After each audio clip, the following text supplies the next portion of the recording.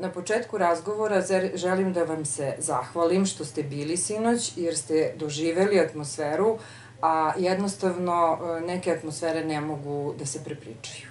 Hvala vam puno što ste... Prelepo veče u dvorištu muzeja Ponišavlja. Pretpostavljam da su vaše očekivanja ispunjena. Kako je bilo? Pa, e, odlično je bilo. Jeste, ispunjena su moje očekivanja. Ovaj, e, bilo je e, emotivno, e, bilo je spontano.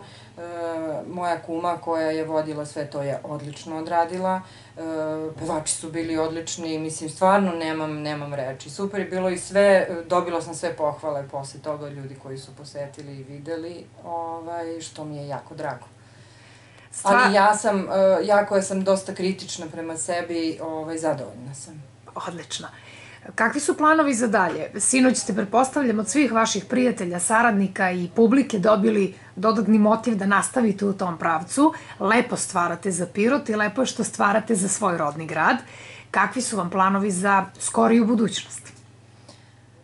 Pa eto, jutros je pala jedna ideja, Milinko mi je preporučio.